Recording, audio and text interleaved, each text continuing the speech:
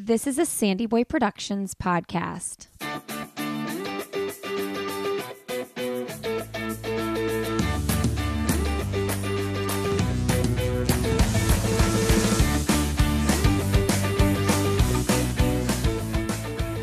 Hey, everybody. Welcome to I'll Have Another podcast with Lindsey Hein. I'm your host, Lindsey, and I'm so grateful you're here today. This podcast is part of the Sandy Boy Productions podcast network. Learn more about the network and the shows in it at sandyboyproductions.com. Today, you're listening to a conversation with Makenna Myler, who is a pro runner for ASICS. Makenna ran for BYU and she became famously known for qualifying for the Olympic trials in the 10K, going on to finish 14th in 2021, less than a year after giving birth to her daughter, Kenny Lou. Makenna also became a TikTok sensation in 2020 when she ran a 525 mile, nine months pregnant. She's been running PRs since having her daughter, and in this episode, we talk about what that looks like. And one thing that Makenna is super passionate about is how women train and how we can really take advantage of knowing the different phases of our menstrual cycles to work hard when it most makes sense to work hard and just listen to our bodies and know that they are ever changing throughout the month. She's actually been doing some recent videos on her Instagram, B E N Z M A K E N Z. That's her Instagram. Uh, sharing the information that she's learned from Dr. Stacy Sims. And that's interesting because, well, it's interesting in itself, but also because uh, Dr. Stacy Sims is going to be on this podcast soon. I'm actually interviewing her tomorrow, and we're going to be doing a series all about this type of stuff. So it's kind of fun that Makenna and I talk about it in this episode, and then we'll hit it hard with Dr. Stacy Sims coming up soon. All right, friends, and this episode of the podcast is supported by Coros. I have been wearing my Coros watch, the same watch, since 2018. I have the Apex and absolutely love it. They have all sorts of different styles, and the one I use, the Apex, is really simple to use. I love that. It's sleek, and I have a light blue band that I wear on mine that I love so much. And tons of pros, including Makenna on this episode, wear the Coros watch. Also, Molly Seidel, Camille Herron, Sally McRae, Hayden Hawks. So many pros are using this watch, and everyday athletes like myself. And you all can go to Coros.com, the best GPS watch on the market.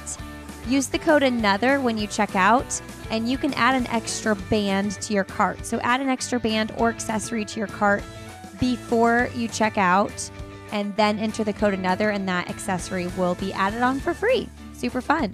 That's Coros.com and use the code ANOTHER for a free accessory item. Uh, send me a DM if you have any questions about the Coros watch. I'm Lindsey Hein626 on Instagram. Happy to answer any questions about the Apex specifically, is what I have. I've heard great things about the Pace as well. All right, friends, I really hope you enjoy this conversation with Makenna. Well, today on I'll Have Another, we have Makenna Myler on the show. Welcome to the show, Makenna. Thanks, Lindsey. Glad to be here. We have spent some time getting this interview booked. We've finally done it. okay, well, to be fair, we're on like different um, time time zones, right? Yeah. And then, uh, but and two two moms with work and kids, it's, it's hard. It's Yeah. hard to get on the same. I'm proud of us. We made it happen. Yeah, we did. We did. I'm. Thank you for for excusing my faults of. of Oh, mine too. time. Mine too. It's so funny because on Wednesday, what what day was it? Was it yesterday? And I was like, "Would you Yeah. like to do it an hour later?"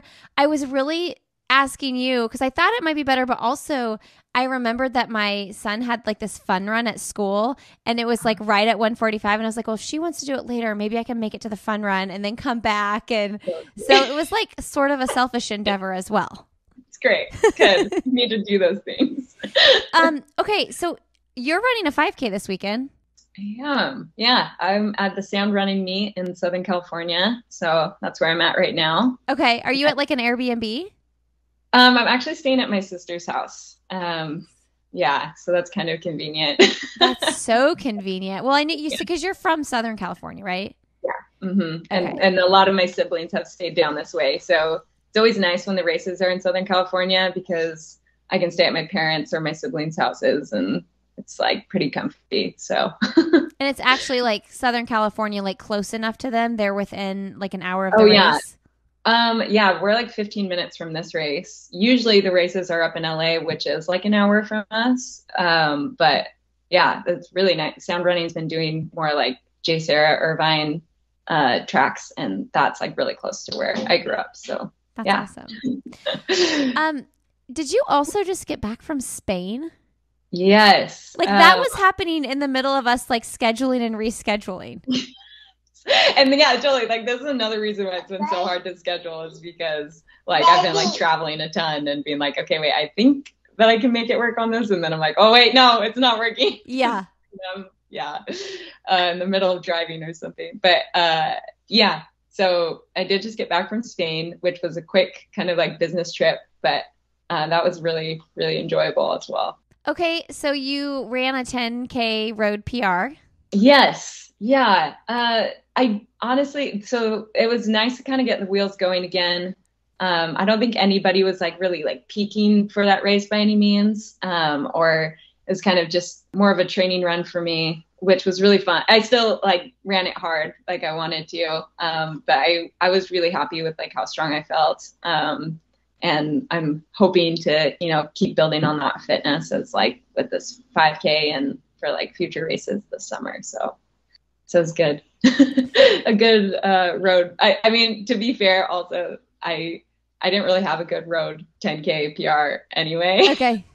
I think it was like two two or three minutes slower than that anyway. Wow. Okay. Yeah, yeah. you've you've made some strides since then. Yeah, exactly. was that your first overseas trip without did you bring your baby, Kenny Lou?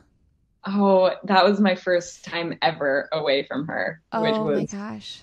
So hard. Have you been away like I mean not overseas, first... like just like but overnight. It's three, hard. Like three, four days. It it gets easier when they get bigger. But yeah, yeah, like that first trip away. And I mean like overnight is one thing, or like even like a plane ride to like New York, but you went to Spain. Yeah, right. I know. uh, which I mean, to her, it didn't really make a difference. No. Like she was like, okay. Like I think she was okay with me being gone for like the first day or two, and then she was like, wait, like, are you coming back or like, what are we, why are you still gone? Why am I still talking to you on the phone? Um, but but she did good. Like my husband stepped in a lot to help her and kind of just like worked around her schedule. So I think she wasn't uh, too unhappy with that because she she loves being with her dad. So it was good. It How worked long out. were you gone for? Um, I was gone for five days. Okay. Yeah, so it was a quick quick trip, but again, like you said, it was like the first time being away, and I was like, I think I was probably more sad than she was. Oh yeah, like, for sure. I do it myself. Yeah, like, she won't remember a thing. Yeah. yeah, yeah. Like uh, the people uh, actually who were so we had kind of to do like interviews and some photo shoots and stuff, and some of them were like apologizing, like, I'm so sorry, like we're keeping you so busy while you're supposed to oh. like, you know, be getting ready for your race. And I was like, I'm I feel like I have like all the time in the world oh, right yeah. now. like I don't have a child. I'm like like I'm just twiddling my thumbs over here. totally. How old is she now? Uh, so she's she's 18 months. Okay. Like, fresh, fresh 18 months. yeah. Yeah. Um well so you mentioned you were at your sister's house and um you grew up with seven siblings? Yes. Yeah. That's so cool. Wow, you did your research. I'm in the middle of seven. Yeah. wow. So do you want to have a big family too? Uh, I think I would love to have a big family. Uh, but big is I don't know, that's like a relative That's a lot. Seven is a lot. Yeah. So I, I don't think I I don't think I have time to have seven. but um, yeah, I think having like four or five would be um, like a good size like I, I would be happy with that. But I, I always leave it open to like, I, I don't know what my body's going to do. Right. And who knows, like if I, if I can't have any more kids, I'll probably adopt. But so, yeah, I guess I will. Like, even if, if I can't have any more kids, like I will get those kids somehow. Yeah. like, um, but, but yeah, who knows where, where life kind of takes you. But that would, um, ideally it would be fun to have a big family. Are you still close with your siblings? Yeah, we're all very close. We're all about like a year and a half or two years apart. yeah, I know. I'm like now having a kid. I'm like, my mom is a champion. You'd be on too. yeah, like what? Like, how did she do this? Um, and and so uh, we're but, but yeah, we're all pretty close because um, I mean, because of that age difference, but we also just have like a very open family dynamic um, where everyone's like very interested in what everyone's doing. Like, there's a lot of I don't know, there's just like a lot of love. Everyone is very supportive, and um, we all keep in contact a lot, and just are all connected in in some way. Okay, so you went to BYU. Yes. Is that where you met your husband? Uh, sort of. So we actually met at a climbing gym. Okay. Um, we both like were casually climbing. Like we weren't either of us weren't like super into it. Uh, but we met there, and then he actually did gymnastics at Michigan. Okay. Uh, and then he served a mission for our church, and when he came back, he just helped. He was like a student coach for the women's gymnastics team at BYU because they didn't, um, they don't have a men's team, and and then we just kind of kept running into each other in the athlete weight room, um, and that was kind of how things escalated from there. were you you were in college? Yeah, so we were yeah we were both in college, uh, but we didn't get married until like two years out of college. So we dated on and off for quite a while. Well, when I was stalking your Instagram in your wedding, you're like, just come on down, whoever wants to come. And I was like, I need to hear about this wedding. oh, um, I mean, it's just like an open party. Usually, um, it was like really casual, especially the one you're probably talking about was the one for Utah. So we did like, okay, we did a more formal one in California with my family. Okay. Um, and you know, yeah, like his family came down and stuff, but I think it was more like yeah, my area. Um, and there, I mean, it was still pretty informal, to be honest. Like we were at a park. yeah. Uh, and after, I mean, I mean, yeah, like whoever could come could come, and we just have like a free buffet of like pizza and um, what else do we have? Like brownies and like a salad and stuff, uh, which I thought was really good actually. But then in Utah, yeah, that one was like very much more like an open house. Almost. Okay. Okay. Um, we we set up like teepees, which was really fun, and I, yeah, I actually. I actually drove down um, some as- some dead aspen that I found uh, from Utah to California, and I got stopped at like the border. And she was like you're not allowed to take those through sweetie. And i was like no like please like this is this is for my wedding. Like i went through so much effort i was like they're just dead trees. Like i promise like nothing's gonna happen. And she she was like you can go throw them away over there. Like please pull over. And so i go like pull over. And i like am like starting to cry because i was like went through so much effort. I just drove like six hours to drive these trees down to for my wedding. Oh and my god! they're just like on top of my roof. And I look around and like nobody was like watching me or like holding me accountable. And so I just started driving and I was like, I'm taking these for my wedding. Was she like a park um, ranger? It's like um it's a border patrol okay. for like fruit and like pests and stuff. Oh, okay. So you don't want pests coming through. So maybe I shouldn't have admitted that I did that, but I, I was I really wanted these for my wedding. it's gonna make it happen. oh my gosh. Well, could she have like gotten her car and chased you? She wasn't like a police officer. No, yeah, because they're just like waving cars through a ton, yeah. and they they're like, yeah. And I was like, no one like, what could they? I guess they could chase me, but then yeah. like, so what? Uh, I don't know. Yeah, just, not the most important thing to probably yeah. chase down. right. That's exactly what I was thinking. I'm like, she, she was like hesitating about letting me through, you know, like, yeah, like, uh, is this worth Yeah. Like, I was like, I think I'll be okay. That's so funny. um, okay. So tell us about your like career at BYU and, and how that went. You were there before Diljeet was the coach or did you have Diljeet? Yes. No, I actually just missed her. Okay. I, so I had Patrick Shane. Okay. And um, while I was there, so I I have like I feel like I've had a long journey since high school, kind of trying to figure out how uh, my body worked like as a matured woman instead of being a little girl anymore. Mm-hmm. Um, and and so I was still just like really trying to figure that out, and just like maybe not having.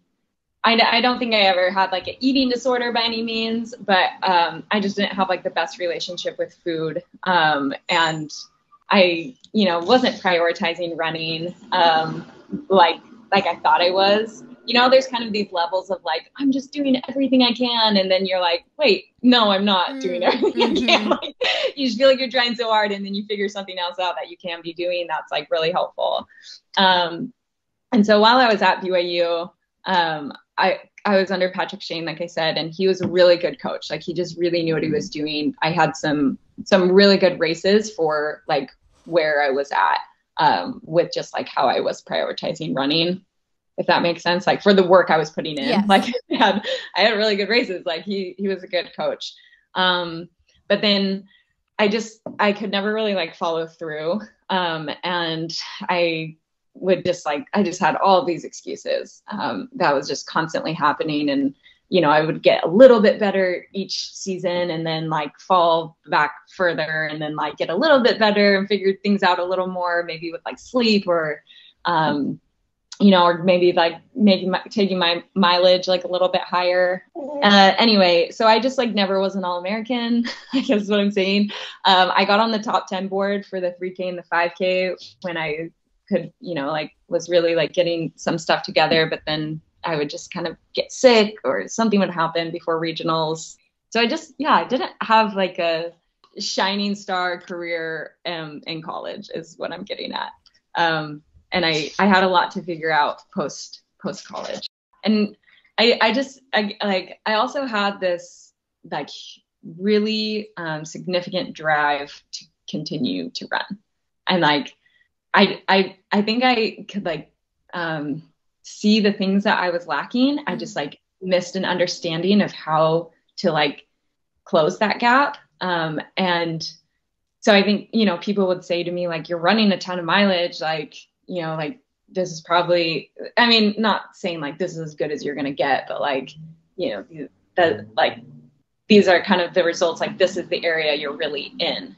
And um, I think in my heart, I was like, no, like I know like the area I'm in is like above that. I just like need to figure out like how uh, to to change some things.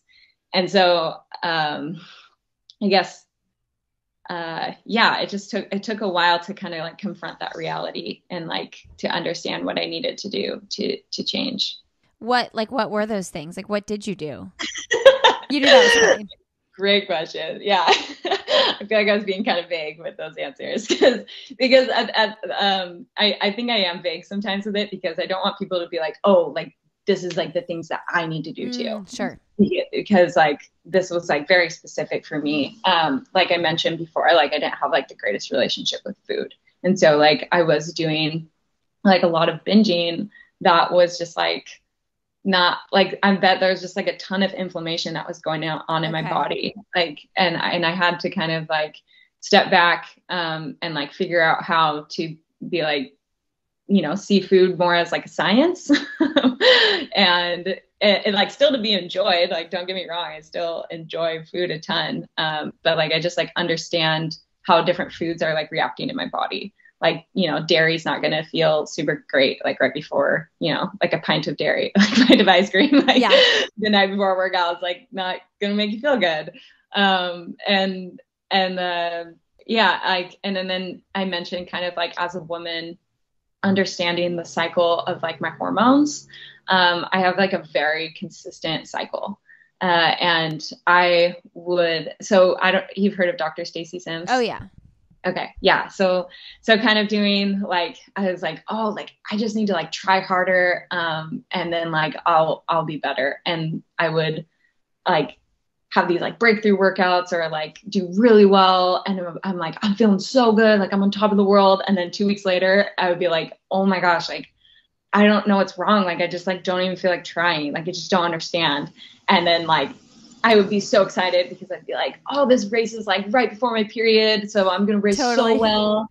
and then like I just bonk so hard, and I was like, I don't understand.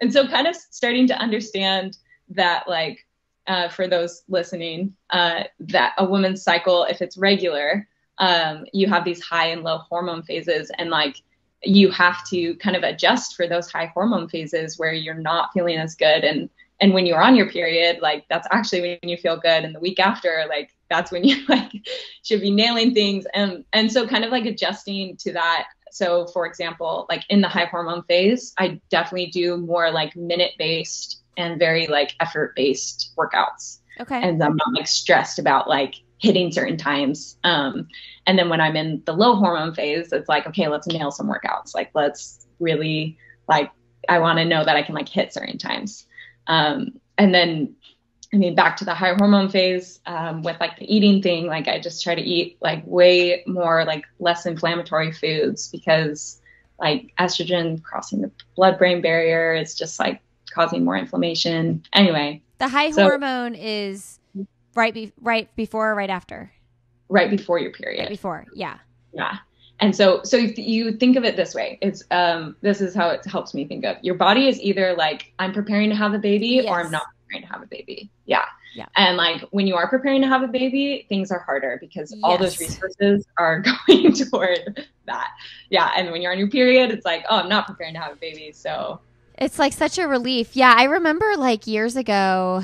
Well, it must have been just 2017, and I I ran a marathon PR the day I started my period, and I was like so confused. And I you would Yeah. think by then I would have had like all that down because I'd like been running for Yeah. so many years, but it was like. oh, totally. Oh, it's such a gift that I started my period that day. Like it just took like so much like Oh, everything felt better than had it been like 3 days sooner.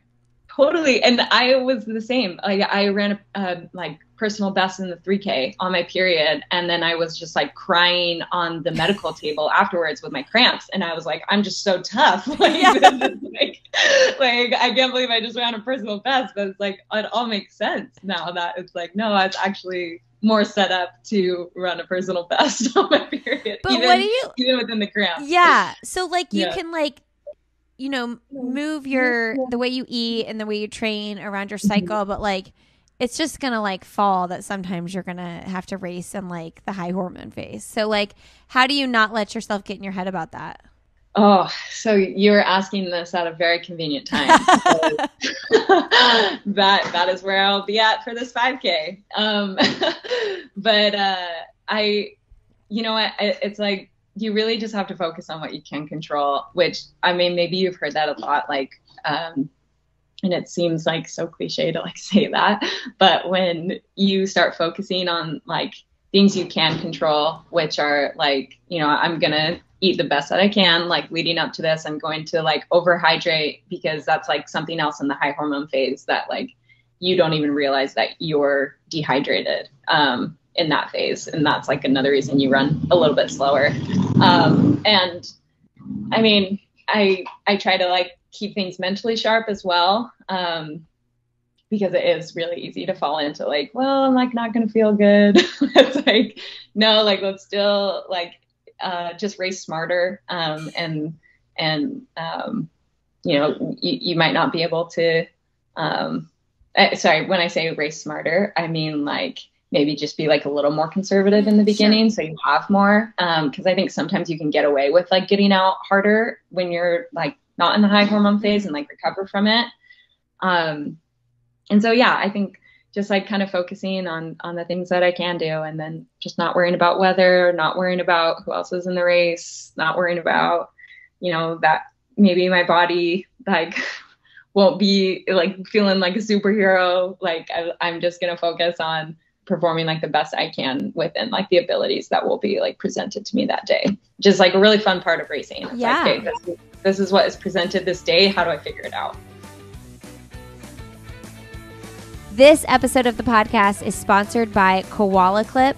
If you are looking for a great way to carry your phone on the go, on the run, it doesn't slip around or move around and it stays dry even when you sweat a lot, check out Koala Clip.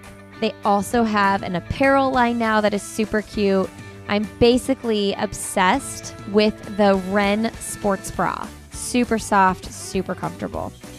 Go to koalaclip.com and use the code another for 10% off your order with Koala Clip. So you mentioned like anti-inflammatory foods. hmm What are foods that are like you're like, probably should stay away from that because they're high inflammatory and what are foods Yeah. that you're like this is anti-inflammatory? Yeah. Okay, so to preface, I'm not like a nutritionist. Right. This is like this is just stuff that I've found Yeah. for like myself. Um and I don't know, seem to be working kind of well. Uh so stuff, yeah, definitely stay away more from like sugar in the high hormone phase. Okay. Um um and and when I say stay away, it's like I'm not gonna be doing um you know like candy bars before the race. Like, Okay. I'm not gonna like like I still will have like some sugar um just to keep it on like the lower end. Uh and then uh no dairy.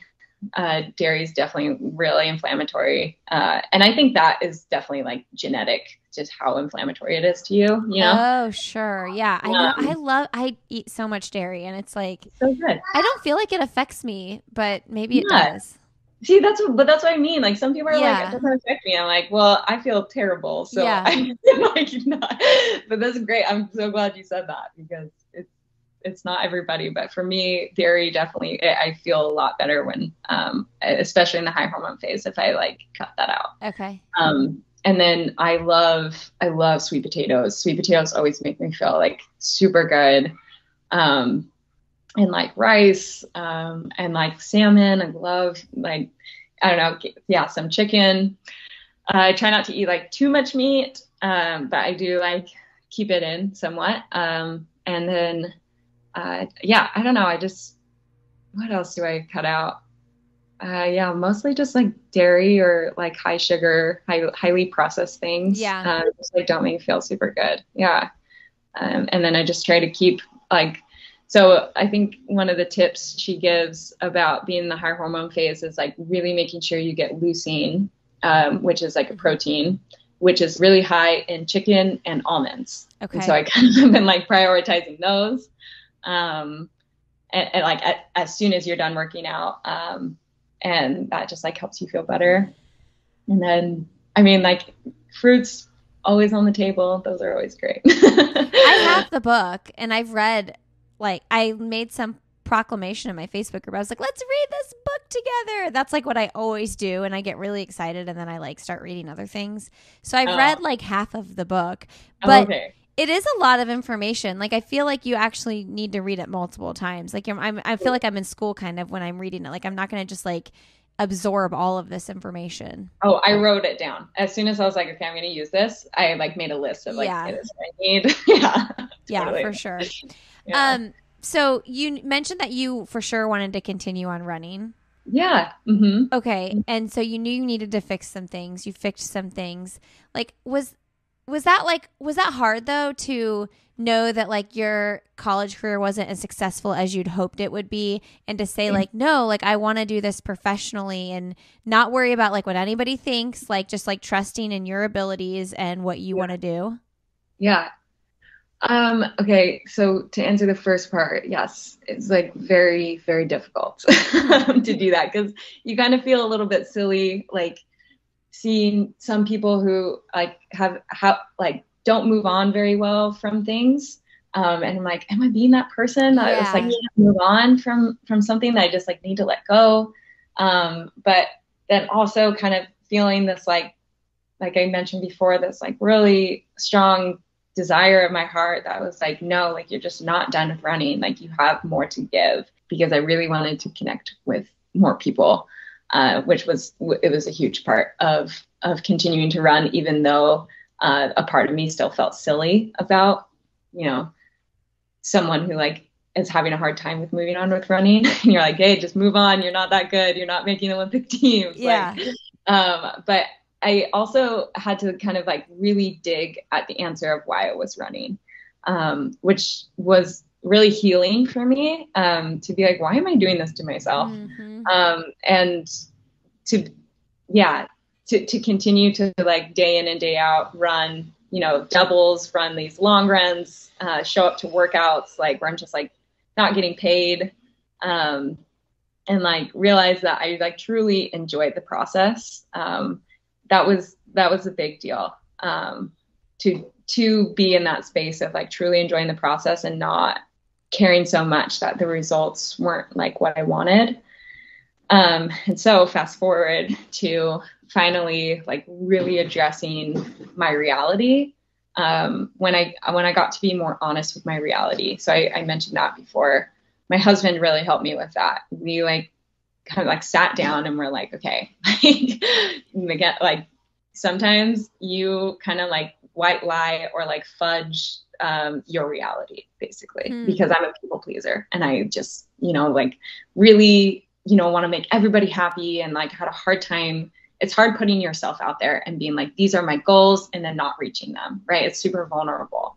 Um, and so i finally kind of did that um, and let myself be a bit more vulnerable with um, you know wanting to make the trials and you know doing the things that i thought um, would help me get there like so like we talked about like eating the way that my body responded the best like really cutting out dairy um, and like prioritizing more like whole foods because sometimes I like like I said like I would eat more processed food than in my mind I was actually eating. Like. I was like I'm I'm eating like healthy and then I was like wait like facing this reality I'm like actually I'm not like I'm really not eating healthy. I'm like constantly I don't know eating packaged foods. Um, and then so like switching that and then like really prioritizing sleep and then understanding a training cycle like the macro and micro cycles uh, that was huge for me. I um sorry this is like a long tangent but i also uh, wasn't like prioritizing a long run. Like i didn't realize the importance of that. And i was like prioritizing like faster workouts mm. constantly like vo2 max workouts. And i just never had this like aerobic engine to back up these these vo2 max workouts. And i didn't understand that. So i think that was something else, like facing that reality and being like, oh, like I actually need to put in like a lot more mileage of no workouts and then do those workouts and like that. Um, that helped me a lot too. Um, and that that started with pregnancy. Um, and pregnancy, like I got to let go of a lot of times and like anxiety I felt about like hitting times and and uh, so anyway. That's a gift. A lot of a lot of facing reality to um, continue running. That's a gift that your pregnancy gave you that. So Yeah. Yeah, you when how old were you when you had your baby? Um oh, I'm 29, so I was 28. Yeah. Okay. So all those years you were like just kind of like trying to figure out like is this yeah. am i going to do it? Like am i all in? What do i have to fix? And and and and also like amongst that was i was moving around a lot with my husband. So we moved to singapore we moved back to utah and then we moved to australia. So it was like and, we, and then we were traveling just a ton for his work. And so i really wasn't like prioritizing like like there's other things going on too you know? So would when you went to australia were you you there for his work or were you there for your own training Oh yeah, it was for his work. Really, um, as a coach?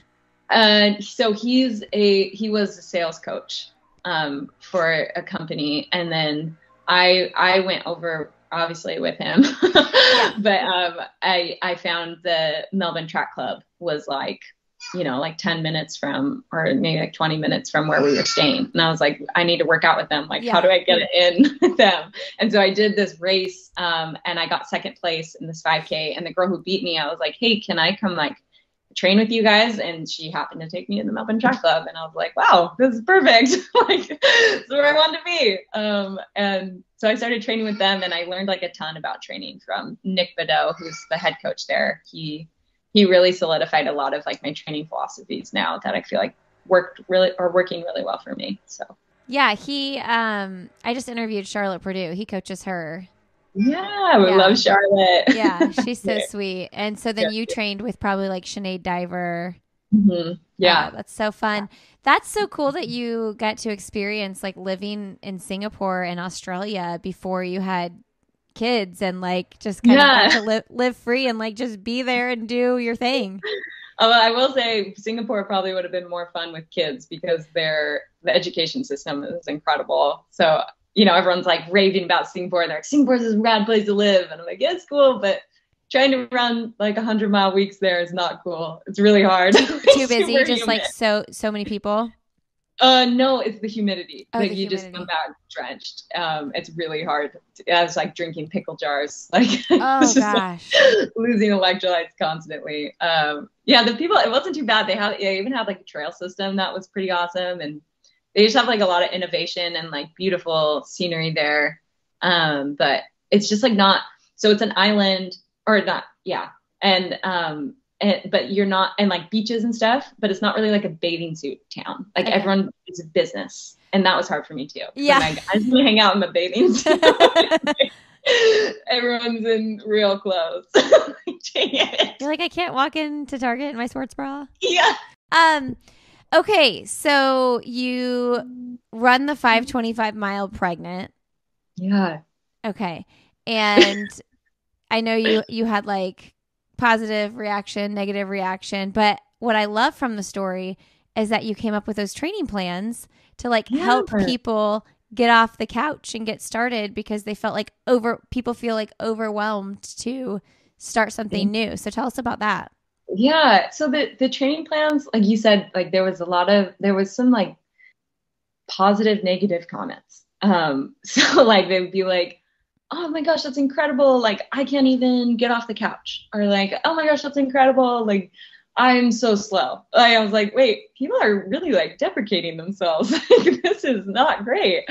Um, and and so yeah, so we came up with this training plan that I was like, let's do it like a running training plan that also has this like emotional, mental concept um, to like help build a healthy relationship with running. And I think that also went back to kind of the story I was telling before that I didn't have this like super great relationship with food and running. That all was like jumbled together um, and having to kind of work through that and seeing the value of um, you know associating just like running running is not for weight loss. Like basically is like one of that's at the top of the plan. It's like this is not a weight loss plan. Like this is to like enjoy like what your body is capable of and like having your body be more capable than it was yesterday um, and to like really appreciate what your body does for you. And i think you know connecting that mentally with running because running is such like a raw sport like it's just you um, you know you don't have to rely on other people that yeah i just hoped that that people would be able to um, thrive from that. And so that's how those those guides started. So you do you feel like that was like your first taste of like this is one of the reasons why I, stuck with it, like that I can connect with people like that and like do something more than just running. yes and no. Um, so actually like before kind of anything took off for me running wise um, i feel like i got to connect with so many great people because i like stayed in the sport. Um, there's a group down here called the valor truck club um, and the coach his name's george Jabez, and i worked with them since uh, since i graduated college. And they just they're all the people that had come through this club like i was like these relationships are just Mm. incredible. Like if you are not like a great runner you should go join your local running club and like see what it's about. And it's just so fun. People just show up and like just try their best. And that's like and i say try their best but it's like they you know pace other people and they jump in. It's just like you don't bond you bond with people when you suffer with people. Mm. and like this is kind of this like suffering that happens together. Like you could not know someone very well and you just like hammer a workout together and you just are like suffering the same. It's like you're all of a sudden connected. And and and so yeah i i feel like i was still connecting with people but definitely not on the the same level after um, running that pregnant mile because then then I was connecting with people, you know, kind of internationally and uh, yeah, just everywhere. Um, and people were sliding into my DMs and you know asking advice, and I just try to be so honest and like sincere with with everyone in in those messages to like really help because I remember feeling kind of lost with like I'm like I don't know what I'm doing with like running in pregnancy, um, and yeah, I just I also thought like a ton while I was pregnant about like the single moms and just like Mm.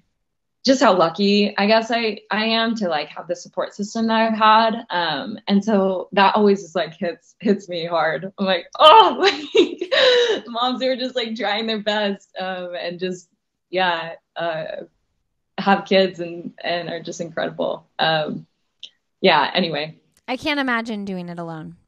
I know. Shout out right? to the single parents out there. They're just incredible. And even though those moms who like their husbands are just working constantly, like I don't know. And, and anyway, so yeah, I just love I love uh, women. I love how strong women are, and I love connecting with women. And if it helps men too, that's great. I think you know women raising their standards also frees men to raise theirs, and oh, or maybe open theirs is a better way to put it. But so you ran the you ran the trials. So the timeline here though is like I knew you said you wanted you know you ultimately wanted to run in the trials. But what's the timeline with your pregnancy and COVID and like when the original trials were supposed to be? Great question. Um, so, so uh, my husband and I had been trying for a while, and so I kind of was just like, I guess we'll just like get pregnant whenever we get pregnant. And so it wasn't like a surprise when I got pregnant, mm-hmm. or sorry, opposite. Like it wasn't an accident, yeah, but it was a surprise. I was okay. like, oh, like I guess our yeah, like our plans are changing. Um, and so I kind of just kept showing up and being like, well, I guess I'm like not going to the trials. Um, and like that's okay. I think part of me too was a little bit like, wow, I, am glad I have this excuse as to like this really valid excuse as to why like I never made the trials. Mm. Um, because I was like, maybe I'm just not good enough. Like mm. that, that thought totally was playing around in my head. Um, and and the months kept kind of coming by. COVID happened, and there was all this talk about the Olympics being delayed. And I was like, wait, oh my gosh, like I think I could still go after this. So it really wasn't until like April or May, which I was around like 20 weeks or something or so, like going, going into the second trimester, uh, that I was like, I think that because I, I still did want to run competitively after. I was like, I'll still run competitively. I've, I've enjoyed the process so far and um, like I said, I still wanted to keep like the connections I had. Um, and, and so, uh, yeah, I, it kind of, the plan developed from there. I was like, well, I guess since I still want to run competitively, I could still try and go for the trials. Um, I did all my research on, you know, the pregnant women who have, have come back from pregnancy or, or, ah, I hate that word, move forward from pregnancy. They've become different people. Um, That's a good way to put it yeah, it's so much better. Yeah, like, I like it. We're not, we're not trying to be the same person. Move like, forward. Yeah, that's yeah. good. Okay. it's a new way to say it, everybody. Yeah, I know. It's a, it's a good correction to always make in your mind. Like, yeah. There's no bounce back. Like, totally. Don't try to be, yeah. Oh, this body is be... never looking the same. This is, there's a lot of things that aren't going back. and that's beautiful and great. Like, it's just, it should be celebrated, I think. I mean, obviously, I think it's okay also to mourn the things that are yeah. you know, gone, but like you should also be celebrating the things that are gained. But anyway, um, yeah, so I kind of just kept an open mind to uh, what would happen after because I was like, who knows, maybe like I'll have a C-section or just like like you know the the timeline just might be different in my mind or uh, what actually happened then like in my mind. Um, so i kind of had like so many plans of like what would happen for each scenario. Uh, but luckily i had like a really healthy pregnancy a healthy birth um, and i was able to start running like two weeks after and i just started putting in the mileage um, before, and then started workouts probably around like february uh, so i had her at the end of october okay um, and I tried to get in like a base of mileage because, um, like I said, that was something I wasn't doing before. I was just like going straight into workouts, uh-huh. um, and and yeah, and it, it worked out. Got I made it to the trials. I do think that a lot of us, a lot of us get faster after after baby, and especially yeah. after the first baby. I don't know. There's something about that first baby. You come back yeah. and um, yeah. you can really throw some things down yeah it's really cool and i think like even just mentally there's just like a different prioritization that's happening in your mind yeah and you just have like a way healthier perspective you have a baby who who doesn't care how fast you run but then at the same time you're like i'm gonna be a, your strong mama so like you know you you throw down and it's it's great you got that mama strength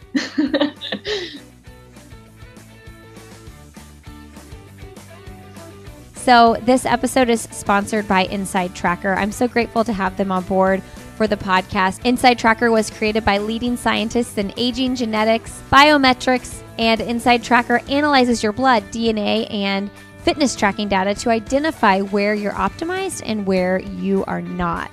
we put so much time and energy into running or whatever it is you personally are passionate about. And I just think to be able to know what your levels are, especially for your iron and things like that, it's key. So with Inside Tracker, they will take your blood panel and then they will give you those results and give you an ultra personalized performance system that analyzes all the data from your blood, DNA, lifestyle, and it will help you learn how to optimize your body and reach your goals. For a limited time, you can receive 20% off the entire Inside Tracker store when you go to insidetracker.com slash another. If you go to that exact landing page, that should automatically apply the 20%. If that's not working, just use the code another and that will get you 20% off.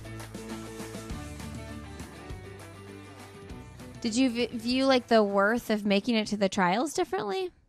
Yeah, so yeah, that changed a ton for sure. I think um, the trials before was kind of this like it sounded fun uh, when I heard what the standards were, and I was like, oh, that would be fun to be like fast. And then also, it was kind of something to tell people as to why I was still running so much, mm-hmm. you know, to be like, oh, well, I'm training for the, like, what are you training for? It's like, like, I like I felt stupid Life. being like, I don't know, I just enjoy the process. yeah, like like um it's like I guess I'm training for the trials because like what else is there to train for? Um and you know, because of the like the level of seriousness I was taking it, they're like, wow, like what are, yeah, like why would you be training this much? Um so so after pregnancy it was nice to kind of I honestly didn't talk about the trials. Like I wasn't telling people that I was trying to make it to the trials. Um, and it was nice to kind of like reprioritize and like you use the word worth, like where like stepping onto the line is so freeing mm-hmm. when you're like, it just doesn't matter the outcome. I'm here for the process. Like we're all here together to like help each other run fast. And this is like, it, it's fun and it feels like it, I hate, I hate saying this though.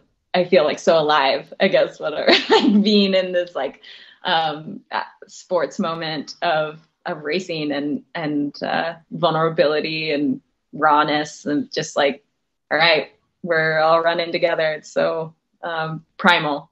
That's primal. That's Very true. Primal. yeah. um, and I love it. Yeah. So so stepping stepping onto the line like that is is so helpful. And yeah, I'm like, you know what? If I don't make the trials, like I'm just so happy with the work that I've like put in.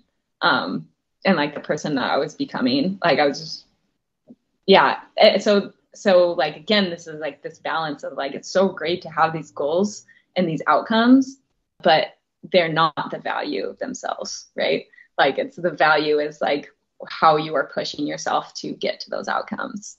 And when you have to change and you know make yourself better that's just always valuable and it always is going to add to your character and give you more direction in your life where do you think you would get that if you weren't running competitively oh uh, gosh I that is such a good question. Well, I just think about it a lot. Like yeah. sometimes, like if I think about like making a career change, or you know, just yeah. like it's time to move on from something, or like a, you know, just mm-hmm. a different phase of your life. Your kids get older, like things yeah. change, and so like where you're spending your time and energy is different. Yeah. And so it's like, how do you make sure you're doing something yeah. that does help you become that person that you were yeah. saying, like to get to where you want to be? Um, I think like getting involved in your community, like running helps me get involved in my community for sure. Mm, I love that. Um, and so I think that that you feel like you're a part of something bigger, and like that is so important, I think, as humans to feel like you're a part of something bigger than yourself and that you're contributing and you're giving back. And so in a way, like running is this like super selfish sport. Yeah. But there's like so many, yeah, right? like it's like me, me. I have to go run for two yeah. hours today. Yeah. um, but it also is like all these opportunities to connect with your community and to be involved with your community um, whether that's like putting on your own race, like Emma Coburn does her own race, you know, where like up in Crested Butte and the community comes and they donate to cancer or something. Yeah, it's a, it's a, cancer charity for sure. Yeah, because it's yeah, because her mom has it. I'm, i think, the, but I think the cool thing is that I feel like she's been doing it well before her mom was even diagnosed, which is yeah, know, oh, kind of full circle, I guess, in a in a way. Yeah, yeah that connection is rad. Um, but but anyway, so yeah, it's just like if it wasn't running, I guess maybe it would be like dancing or like I, I do love dancing. Do you love to you, dance? You research that much, but I don't think I did. And I always say the only reason I stick around Instagram these days is for the dance videos. Oh, they're so good. I wish I was as good as I. I would do anything to be that cool. I know, right? Like the Williams brothers, those are like my favorite. Do you know who that is? The Williams brothers. The Williams brothers. Williams. Williams. Oh. They're like four brothers and yeah. they're probably like in their mid 20s or something and they just always do synchronized dances together and then they bring in like um additional people sometimes too and I don't know they just like have a lot of swagger and I'm like I wish I was as cool as you. Amazing. I will have to look that up. That's so awesome. They, their videos are addicting. Okay. Okay. So just prepare I've always, yourself. I, uh, since high school, I've been into Les Twins. Okay. Uh-uh. They're from France. And they both are just super rad looking with like, well, I guess they don't always have froze. Like sometimes like braid it or whatever. But um, yeah, they they have like really rad hair and they're just like kind of tall and lanky and they just they're really good at what they do. what is what are they called again? Les Twins. So like L E S. Okay. Twins. Okay. Because and they dance together. They're just they're really good. You should look them up. I will. I just wrote it down. I know my son's always like, "Can we watch those Dancing Brothers?" yeah, that's so great. And I have four boys, and I'm like, if you guys want to be that cool, though, you have to like get, take dance lessons. Like they didn't just yeah, like yeah. become that good at dancing. Like they've got natural talent, but those those kids have worked really hard for that. Yeah. Yeah, right. I mean, it's not. Yeah, it's not just dance lessons. Like you just gotta be doing it all the time. All the time. Yeah, totally. Uh, where are we going with that? This the community and oh, I, I like think, you would like to dance. Okay, yeah. yeah but do you like dance? Like, do you like? Do you break out dancing or? Yeah. Let me just do some square boxes around my face for you. Um, no, no. Um, I I was I didn't really take classes or anything. Okay. Um, I was just kind of involved in like some like freestyle stuff in high school. Um, and then just continued to do it because I loved it. Um, on my own and at parties or whatever. Just love dancing. love the dance floor at a wedding. Yeah, yeah, it's a great time. Does your husband dance? I mean, he was in gymnastics, so. I know, right? He should have a routine down. Um, no, uh, no, he doesn't dance, uh, but he enjoys it. He loves it. I, I, think he'd be pretty good if he wanted to be. um, okay, so back to career for just a little bit. You, um, I know the New York City Marathon was like just oh, not a, a, good experience for you. No.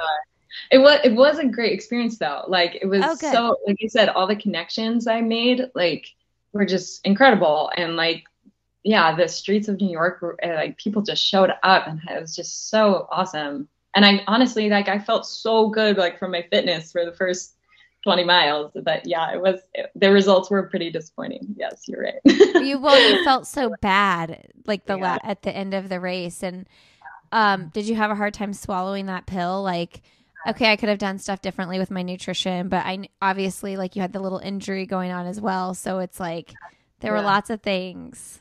Yeah, I know. So the injury really didn't bug me like during the race, which I was super super lucky about.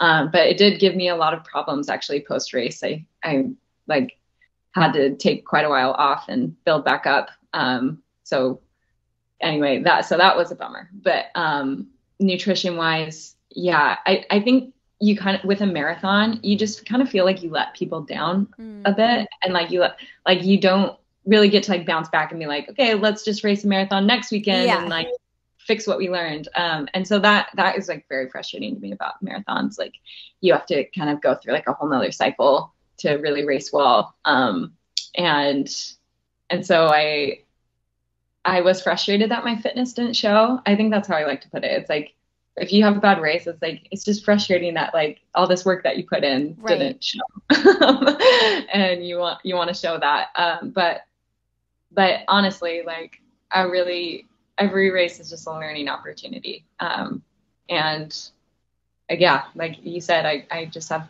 more to learn about my nutrition, um, like not getting it stuck in the cap. Oh my gosh, yes, you guys listening. Yeah, she like literally couldn't get her nutrition out of her bottles for like yeah. six stops, right? Um, yeah, it was like I uh, the first one I was like, oh man, like I should have practiced this more. Like this isn't really coming out. Like I'm not very good at this. Um, and then the next one, I could like hear it hitting the top, and I was like, oh no, Like it was there's hard? too much. Yeah, like it was too much in there, or like it just didn't dissolve. Like what is going on? And then I missed the next one, and then the next one I like unscrewed the, and which I when I missed the next one I was with Stephanie Bruce, and she was like. It's okay, like you'll be fine. I'm like, no, like I just missed like the three She most didn't important. know that you had just missed the other ones. Oh. Yeah. Um, and so the one after that, I unscrewed the cap, um, and it just got all over me. And and really, in hindsight, um, like above the nutrition, it's like I should have like taken the Gatorade that was like free. Right, like at least get something in. yeah, like I should have stopped and just like unscrewed the bottle and drank it. You know, if I really needed to, like you know, take like 20 seconds to do that. But in your in my mind, like I'm a 5k 10k runner like i just was like i need i don't have time like i just keep going like every second counts and you're just not thinking straight. And i was like i, I haven't worked with gatorade. I don't know if that's going to work with my body. And just like i just kept like plowing through. And it was just like it was too late by mile 20 and you know could have i could have thought better thought through things better i guess. Why did you decide to do the marathon? Um, you know, when you sign a contract, there's just like a lot of hype around road races. Yeah. Um, and uh, there's just like, I mean, I've always, I really love long distances. Um, and I think it's really cool to be like in a race where everybody is in the race with you. Like, it's so cool. Yeah.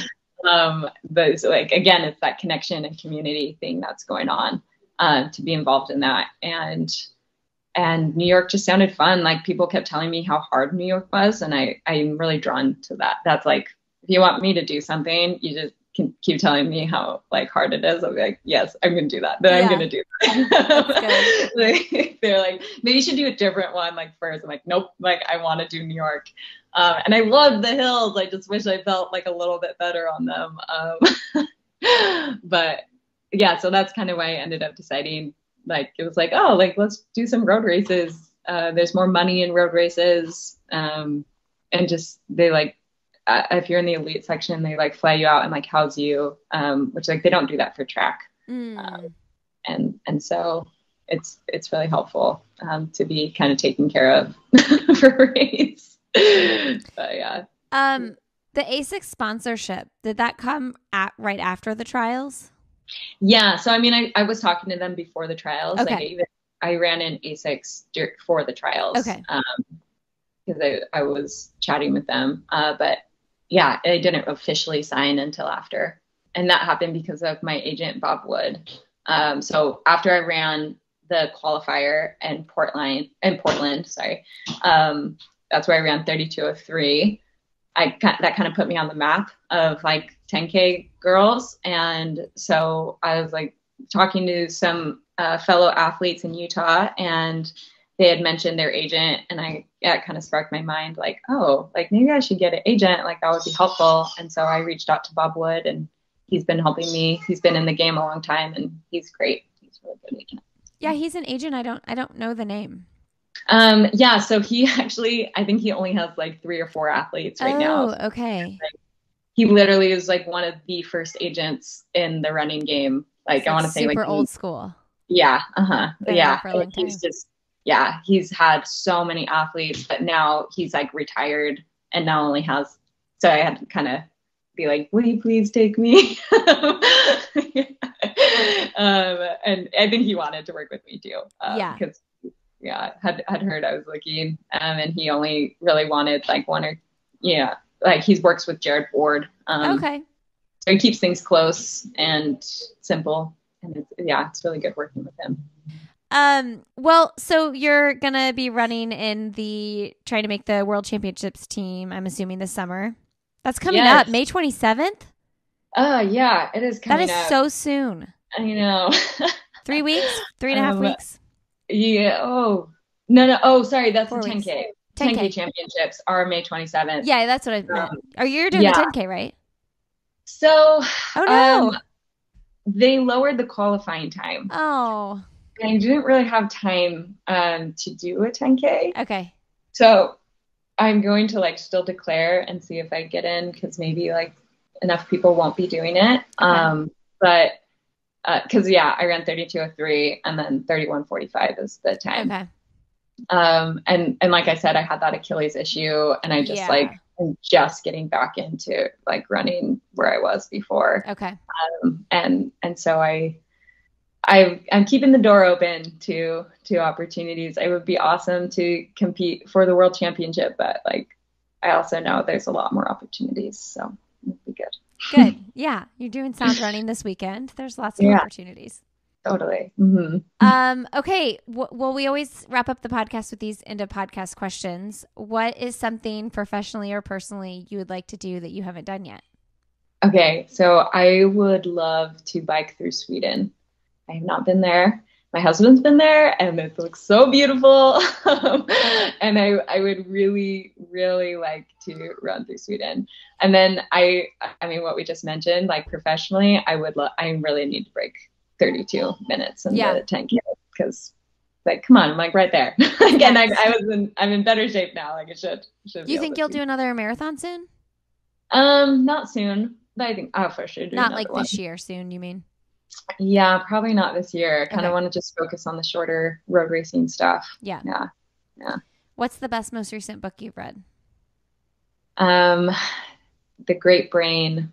No, I'm just kidding. The Great well, The Great Brain is like this kid's story that me and my Oh, husband sure. read each other. Yeah. we don't even read it to our kid. We Yeah. read it to each other. I love it. Because it's entertaining. It's like a really funny book. But uh the yeah, I really love uh The Big Leap. That is by I think it's Gay Hendrickson. Have you heard of it? Uh-uh.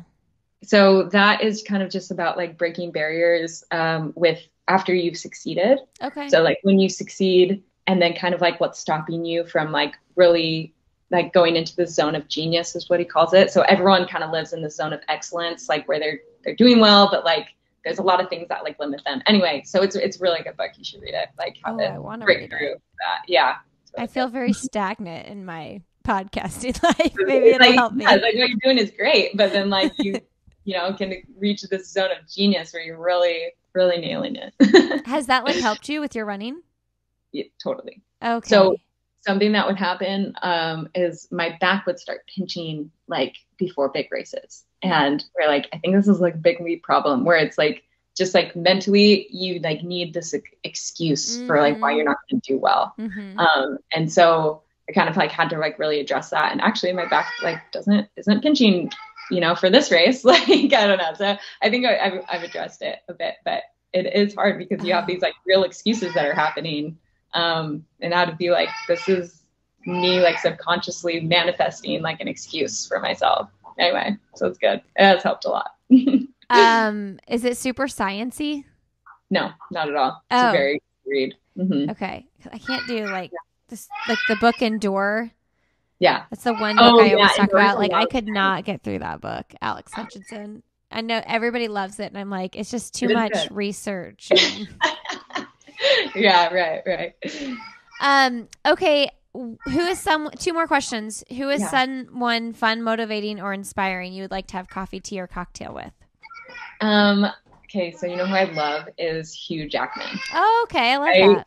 Listened to a podcast with him, and I like immediately told my husband that I was like, I think we would be really good friends with the Jackmans. like, like, I'm like, I Make that happen. we have like really similar intensities about things that I was like, I feel like, I mean, he just like seems like a super nice guy. He's a very, yeah. Do you remember what the podcast was? Uh, yeah, it was Tim Ferriss's podcast. Oh, oh, he was on Tim Ferriss. Mhm, I haven't listened to that in so like right when I started podcasting, I listened to his show a lot. Yeah, um. It's really yeah, good. he's very very good at what Yeah. he does. Um, but I haven't listened in a long time, so it'll be fun to go back and scroll through like who's been on. Yeah, yeah, yeah. You should. He's been good. Um, Tim Ferriss or Rich Roll, who do you like better as an Oh, interviewer? They're similar-ish. I know they are similar-ish, and I I've actually had some really valuable ones from Rich Roll, yeah, but I would say that I stay more entertained with Tim Ferriss. I think so Maybe too. just yeah, just because like the guests he has there, there's more variation. yeah, Um, but they're both really good interviewers. yeah. Yeah, I think if I were to pick, I haven't listened to either in a very long time, but if I were to pick one, if I had to pick one, I think I'd go Tim Ferriss. Yeah. Uh-huh. I do uh, love her. Yeah. um, Lewis Howes is another one in that kind of category. His episodes aren't nearly as long though, because Tim Ferriss and Rich Roll go like super long. long. Totally. Mm-hmm. Um, okay, what's your last message to leave with our audience today? Oh, good question. Um, I mean, I think my whole spiel really is like, you know, the who you're becoming is just like so important over like the outcomes that are happening in your life. Um, yeah, and like you said, like if you're not a runner, like finding ways to just like be involved more with like the people around you, I think it just enriches your life. And like the people are so much more important than like any outcomes that we're looking for. All right, friends, thanks for being here today. Thanks, Makenna, for coming on the show. You to make sure you're subscribed to the show because we have that series coming out soon, and we're going to start it off with Dr. Stacy Sims. We're going to be talking about hormones and cycles and perimenopause, what it looks like to train as a female. It's going to be a great series. Uh, the nutrition series that we recently did has inspired myself and Emma, my awesome assistant and editor, to bring some more series to the table because it seems like uh, many of you have really enjoyed that series. And so we want to keep doing what people are telling us they enjoy. Uh, all right, you can find me on Instagram. I'm Lindsey Hein626. I'd love to connect with you. You can find Sandy Boy Productions on Instagram, Sandy Boy Productions, and learn more about all the podcasts in our network at sandyboyproductions.com. Don't forget, I have a podcast for parents. It's called Why Is Everyone Yelling? And this week we had an episode come out with David Thomas talking about raising emotionally strong boys. It's a powerful episode that I hope you'll go give a listen to and send to anybody in your life who might be raising boys. All right, friends, have a great rest of your day and a wonderful weekend. And as always, we'll see you next Friday.